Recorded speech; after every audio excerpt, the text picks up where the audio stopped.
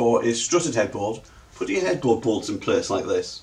Then get your headboard and slide the struts down over the headboard bolts. Get it to the desired height you want it. Remember the mattress has got to go in and you need to see some of the headboard. And then tighten it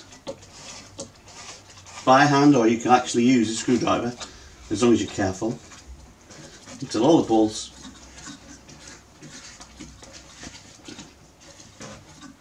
are nice and tight.